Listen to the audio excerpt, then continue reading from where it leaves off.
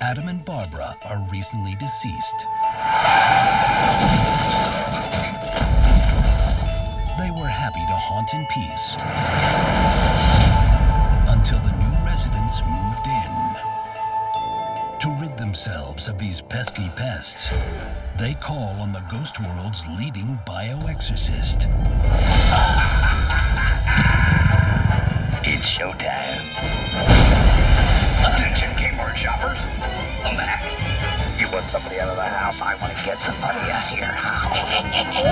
but I out. For good. Beetlejuice finally scares its way onto 4K Ultra HD Blu ray from Warner Home Entertainment. The 4K disc includes just the film, with the extras only on the standard blue. Unfortunately, there is absolutely nothing new here. All of the features have been available on previous releases, some since DVD, such as the isolated music track. But is the upgrade to 4K worth it? Definitely. The picture quality on this release is outstanding. From the detail seen on faces to the individual scales on Beetlejuice's snake form, this is a definitive upgrade from the previous releases. The opening titles are really sharp, as are the buildings in the model village flyover. The picture is so clear that in close up scenes of Geena Davis and Catherine O'Hara, you can actually see the texture of the makeup on their faces. This is also the case with makeup details on Beetlejuice himself.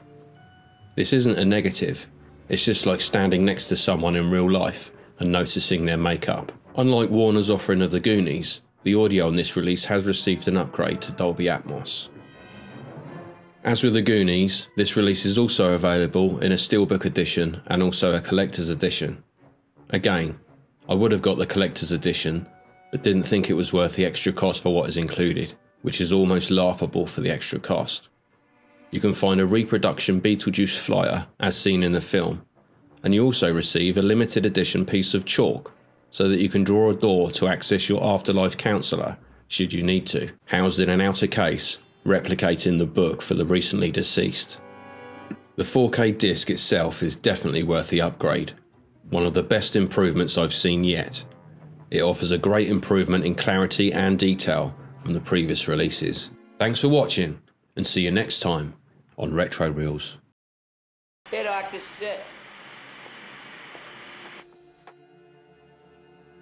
Scott!